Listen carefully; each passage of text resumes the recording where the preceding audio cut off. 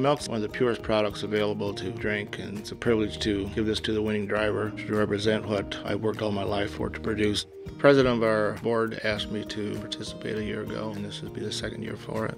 I'd like to lift it up in the air more than bring it down to the driver so everybody can see what's happening. It's an honor to represent the Indiana dairy farmers in this way to continue the tradition that milk is actually the official drink at the 500. And winners really do drink milk. It's not just a saying, but it's actually the truth, and that we can become winners in all aspects of life.